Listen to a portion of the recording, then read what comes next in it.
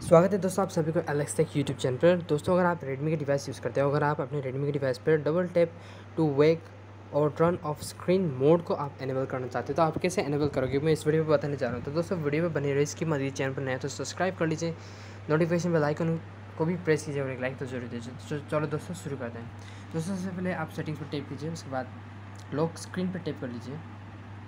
उसके बाद सिंपल से ये जो ऑप्शन दिखाई दे रहे हैं double tap to wake or turn off screen you can double tap to turn the screen off when either default or classic theme is applied तो सिंपल से ये मोड को आप टैप कीजिए और ये मोड एनेबल हो चुका है तो दोस्तों आज के लिए इतना अगर वीडियो पसंद है तो लाइक कीजिए चैनल को सपोर्ट कीजिए thank you for watching take care